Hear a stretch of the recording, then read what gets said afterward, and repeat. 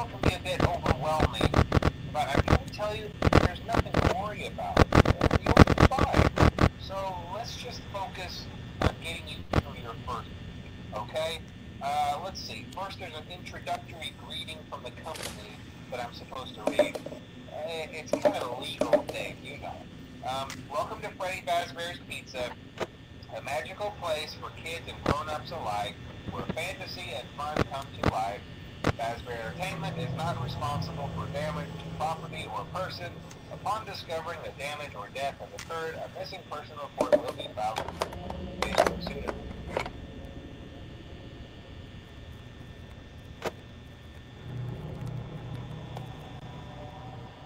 But there's really nothing to uh, the animatronic characters here do get a bit quirky at night, but do I blame them? No. If I were forced to sing those same stupid songs for 20 years and I never got a bath, I'd probably be a bit irritable at night too. So remember, these characters hold a special place in the hearts of children. You need to show them a little respect, right? Okay. So just be aware, the characters do tend to wander a bit. Uh, they're left in some kind of free roaming mode at night. Uh, something about their servos locking up they get turned off for too long. Uh, they used to be allowed to walk around during the day too, but then there was the bite of 87. Yeah. It's amazing that the human body can live without the frontal lobe, you know? Uh, now, concerning your safety, the only real risk to you, the Night Watcher, is the fact that these characters, uh, if they happen to see you after hours, probably won't recognize you as a person. They'll, they'll most likely see you as a metal endoskeleton its costume. Now, since that's against the rules here at Freddy Fazbear's Pizza, they'll probably try to forcefully stuff you inside a Freddy Fazbear suit. Um, now, that wouldn't be so bad if the suits themselves weren't filled with cross-beams, wired, animatronic devices, especially around the facial area. So you can imagine how having your head forcibly pressed inside one of those could cause a bit of discomfort and death. The only parts of you that would like to see the light of day again would be your eyeballs and teeth that pop out the front of the mask. But hey, first first, I'll chat with you tomorrow. Uh, check those cameras. Remember to close the doors only if absolutely necessary. Gotta conserve power. Alright, good night.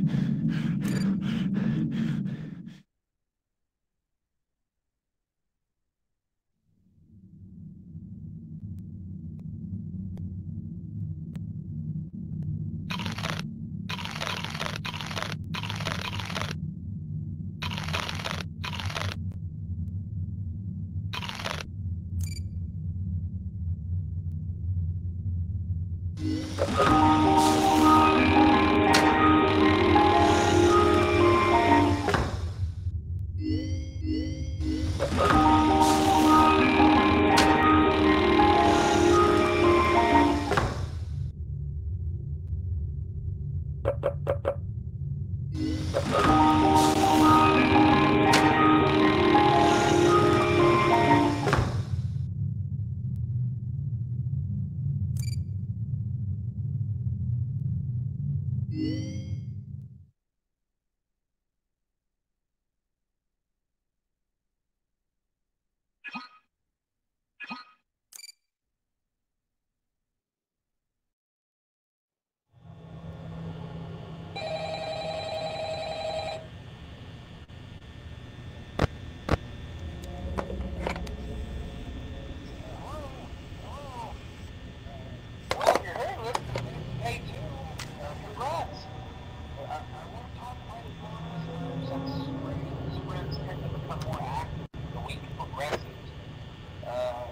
A good idea to peek at those cameras while I talk, just to make sure everyone's in their proper place.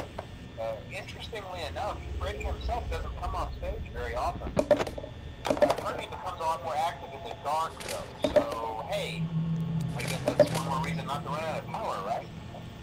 Uh, I also want to emphasize the importance of using your door lights. Uh, there are blind spots in your camera view, and those blind spots happen to be right outside the doors. So if, if you can't find something or someone on your cameras, uh, be sure to check the door light. Uh, you might only have a few seconds to react. Uh, not that you would be in any danger, of course. Uh, I'm not implying that. Uh, also, check on the curtain in Pirate Cove from time to time. The character in there seems unique in that he becomes more active if the cameras remain off for long periods of time. I guess he doesn't like being watched. I don't know. Anyway, I'm sure you have everything under control. Talk to you soon.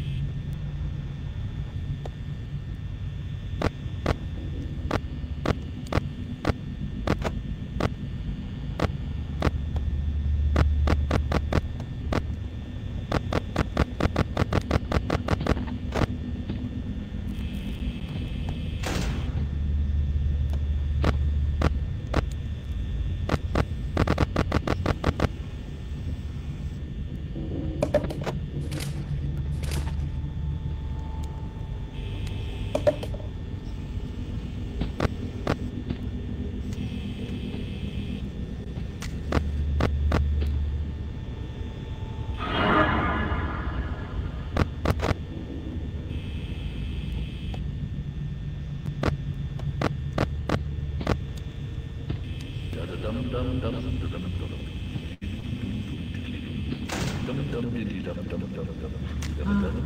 아, 아.